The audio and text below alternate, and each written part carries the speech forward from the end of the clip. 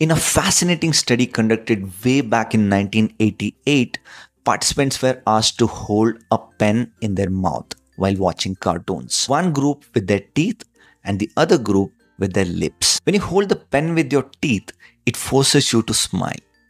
And when you do it with your lips, it prevents you from smiling.